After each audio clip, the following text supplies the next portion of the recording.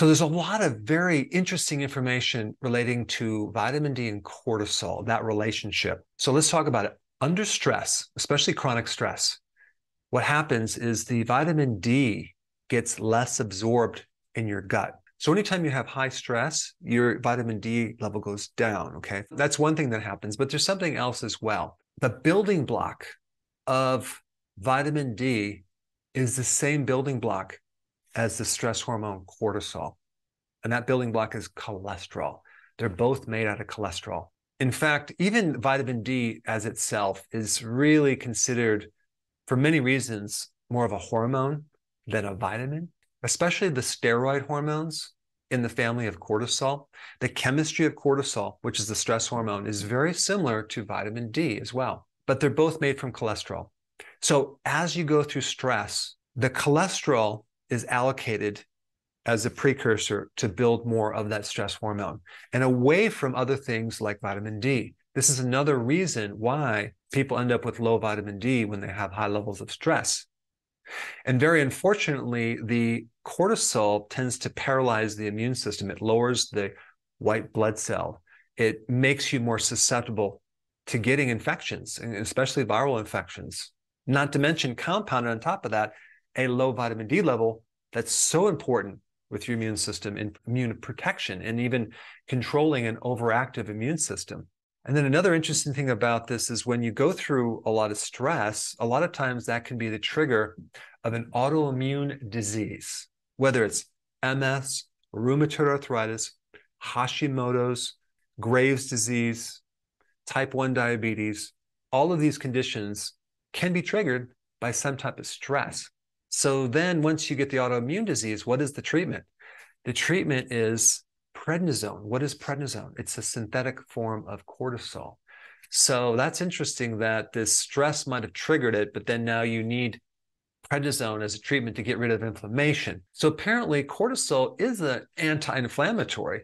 And if you have too much of it in your body, then why would someone even have uh, inflammation in the first place?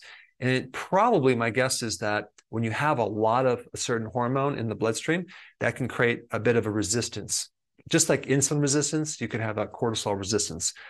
That's just my guess, but it could also have something to do with vitamin D, since vitamin D is a very potent and powerful anti inflammatory. In fact, vitamin D is what I always recommend for autoimmune conditions. There's a lot of research on that.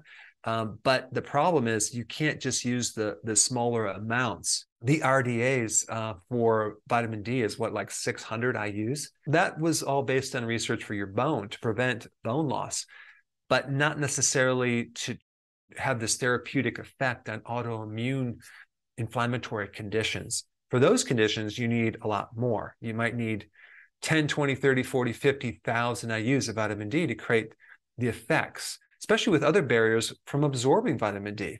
Uh, you have genetic barriers. It's called a polymorphism, where you have this gene that doesn't allow you to uh, convert vitamin D into the active form.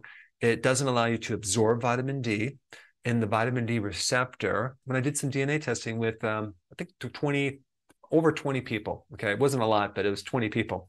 100% of those people all had at least one gene that was inhibiting either the conversion to the active form of vitamin D or just the activation of the vitamin D receptor. So, in other words, from that, it just led me to the idea that a lot of people are just not absorbing enough vitamin D. Another reason is is if you're older, you don't absorb uh, as much vitamin D. If your skin is, is darker, you're not going to absorb as much vitamin D from the sun anyway.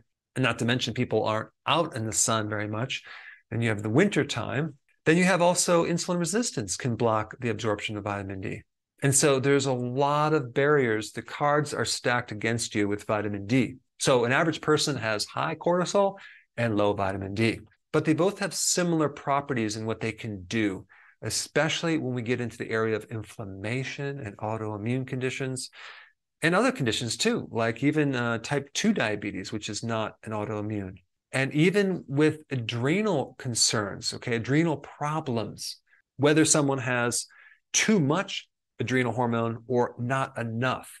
Vitamin D is going to be important. There's an interesting paper I read that if you give someone vitamin D that has high levels of cortisol, it can help bring it down, which is interesting. So I think uh, the more stress someone has, the more vitamin D they need to counter maybe this reallocation of the cholesterol problem because they don't have enough precursors, especially if they're on a low fat diet. And also, especially if someone goes through menopause, because what happens in menopause is you have this um, loss of ovarian function. And now we have this backup organ from the adrenals, which now has to make up for these lost hormones. And if there's a bit of stress in this process where the adrenals are weak, then cortisol is going to be stressed and so is vitamin D. And I think the solution is not just adding vitamin D, but also adding cholesterol, making sure that you have enough fat, maybe consume more grass fed butter uh, or meats, things like that. Another little side note about uh, vitamin D is when you get it tested, um, they always test the inactive form because that's more stable. It's more difficult and not as reliable to check the active form. So they check the inactive form, which doesn't really tell you what's happening inside the cells as well. You have to be able to take all the information and and look at it. Let's say, for, for example, someone has a problem with the receptor absorbing vitamin D, whether they have a genetic problem with the receptor or let's say they have a viral infection. Certain viruses uh, trick the vitamin D receptor to downgrading them. It's a whole survival mechanism, which is pretty sneaky and pretty evil. And the solution to that is to take more vitamin D to overcome that.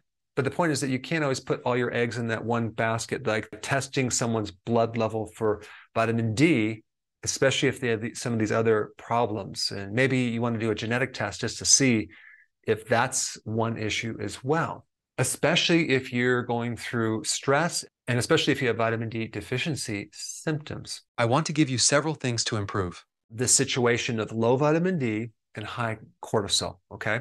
Uh, number one, take more vitamin D. Okay. Get it from the sun, uh, eat fatty fish, uh, or just take a good vitamin uh, D3 supplement and probably minimally uh, take about 10,000 IUs. But if you have a problem, you might need to take more.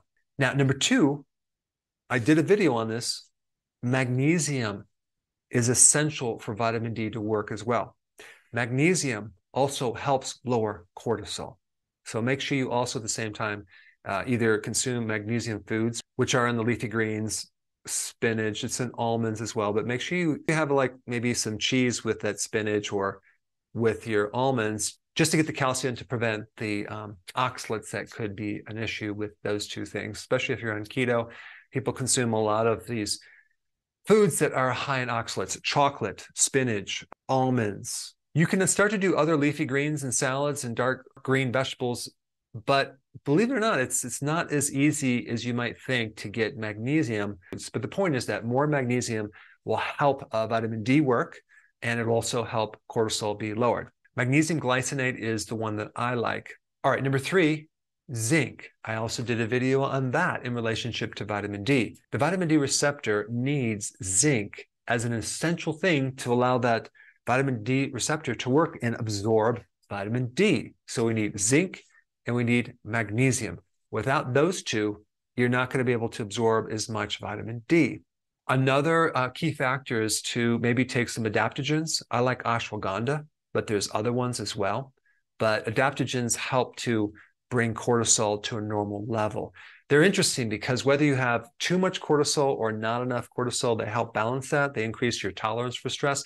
They also will help with uh, adrenaline too, to help balance adrenaline. Of course, exercise would be at the top of the list. Long walks, hikes, things like that. Very important to reduce stress and cortisol, especially. Just make sure you don't overtrain.